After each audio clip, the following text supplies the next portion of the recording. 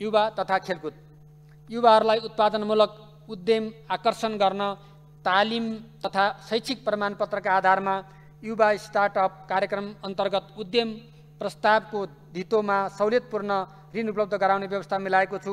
देशको जन जनसाङ्ख्यिक लाभको रूपमा रहेका युवाहरूको उत्पादनशील क्षमता उपयोग गर्न युवा तथा साना व्यावसायिक स्वरोजगार कोष मार्फत थप बाह्र हजार युवालाई स्वरोजगार बनाउने गरी कार्यक्रम सञ्चालन गरिनेछ। प्राविधिक तथा व्यावसायिक सिपसहितको कर्जा कार्यक्रमलाई निरन्तरता दिएको छु। स्थानीय तह बैङ्क तथा वित्तीय संस्थाहरूसँगको सहकार्यमा बिजनेस इन्कुबेसन सेन्टर मार्फत दस हजार युवालाई उद्यमशील तालिम प्रदान गर्नेछ।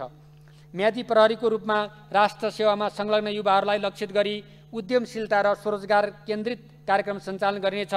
उनीहरूको रुचिको विषयमा तालिम प्रदान गरी कृषि वनजन्य र अन्य उद्यममा संलग्न हुने अवसर उपलब्ध गराइनेछ।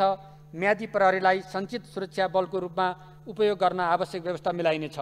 खेलकुद पर्यटनको प्रवर्धनका लागि सार्वजनिक निजी साझेदारीमा साहसिक तथा पर्वतीय पर्वतीय खेलकुदका पूर्वाधार निर्माण तथा सञ्चालन गर्न प्रोत्साहित गरिनेछ।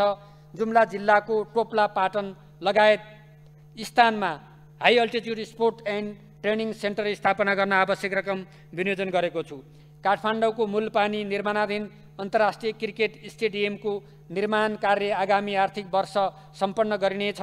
किर्तिपुर अन्तर्राष्ट्रिय क्रिकेट स्टेडियममा रात्रिकालीन खेल खेल्न सकिने गरी स्तरोन्नति गर्न आवश्यक रकम विनियोजन गरेको छु। प्रदेश र स्थानीय तहसँगको सहकार्यमा चितवनमा निर्माणाधीन गौतम बुद्ध क्रिकेट स्टेडियमको अधुरो निर्माण कार्य पुरा गर्ने व्यवस्था मिलाइनेछ। नौ राष्ट्रिय खेलकुद आयोजनाका लागि आवश्यक रकम विनियोजन गरेको छु। दसौँ राष्ट्रिय खेलकुदको लागि आवश्यक पूर्वाधार गरिनेछ। एक स्थानीय तह एक खेल मैदान कार्यक्रमलाई निरन्तरता दिएको छु। बाँकेको कोहलपुरमा महिला क्रिकेट एकाडेमी तथा रङ्गशाला निर्माणका लागि आवश्यक बजेट विनियोजन गरेको छु। धनगढीको फाप्लामा अन्तर्राष्ट्रिय मापदण्ड अनुसारको क्रिकेट रङ्गशाला तथा खेल ग्रामको निर्माण गरिनेछ। खेल पूर्वाधारतर्फ रु सतासी करोड विनियोजन गरेको छु। खेलकुद विकासको बिस वर्ष गुरु योजना तयार गरी कार्यान्वयनमा ल्याइनेछ। निजी क्षेत्रलाई खेल विश्वविद्यालय खोल्न प्रोत्साहन गरिनेछ। विदेशी क्लबहरूलाई नेपालमा फ्रेन्चाइज लिग आयोजना गर्न अनुकूल वातावरण निर्माण गरिनेछ। खेलकुद सङ्घहरूको संस्थागत क्षमता अभिवृद्धि गरी खेलकुद प्रतियोगिताको आयोजनामा खेल सङ्घहरूको भूमिकालाई प्रभावकारी बनाइनेछ।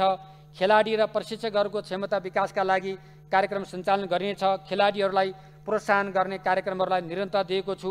अन्तर्राष्ट्रिय र राष्ट्रिय प्रतियोगितामा सहभागी हुने खेलाडी तथा प्रशिक्षकहरूको बिमा गर्ने व्यवस्था मिलाइनेछ। खेलकुद सङ्घहरूलाई दिइआएको अनुदान वृद्धि गरेको छु। राष्ट्रिय खेलकुद परिषदको लागि रु दुई अर्ब नौ करोड विनियोजन गरेको छु।